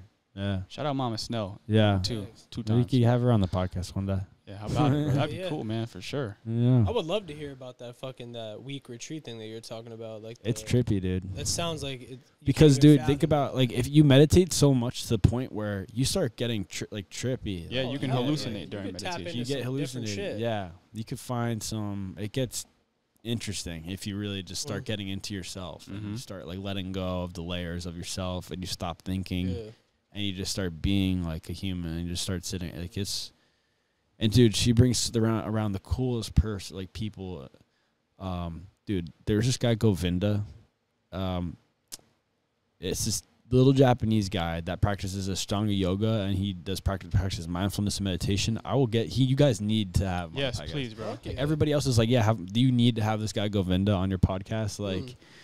bro, like this guy has done. Uh, He has just the craziest stories, and he's Yeah. living in a box truck out in uh, California, in um, like one of the weed meccas of California. Like, this- Wow. yeah, he's a tr- That's he's a sick. cool. That's a cool name. When you said that, that uh, there- Govinda. there's a book named Siddhartha, which is about uh, a story of a man who becomes enlightened. And wow, The name of you're the into Buddha. that shit. Oh yeah, I love it. And uh, the name of the Buddha that people follow today, his name was Siddhartha Gautama, and his best friend's name was Govinda. And they might were, be him. they were seeking How is like, this? How old is this? This book. Yeah. It was written in like the '60s by a guy Dude. named Hermann Hesse. It's probably Govinda. Ah, no, if it was written in the '60s, Who knows? And it was written in No, 'cause, Germany. It was written Dude, in Germany. Govinda's so- like 70. But the, um, the story of the Buddha is, is far back. Oh, Like, yeah, This yeah, isn't yeah. during the 1900s Right. or anything like that. So dude But it's still cool, govinda's in there with the spiritual people and like Yeah. in that whole upbringing like dude he's done yoga with superstars i forget who like like oh um starts with an s uh rock star uh sling uh s- s- Slipknot just doing medica- Sting. meditation with sting sting sting's his Yeah, I know Sting. yeah bro no but like seriously like like people like he's gone and done like private sessions with people Wow. and he, he Yeah, we gotta also get done, connected, No, man. that guy seems sick. Dude, a crazy thing he did. He was a, at one point he was a monofruitarian, which means he had a diet where he only ate one fruit for three months. Whoa. Oh wow, That's- monofruitarian. Wow, I never heard of such a thing. So for three like- months at a time, let's just say um, mangoes. He was telling me like,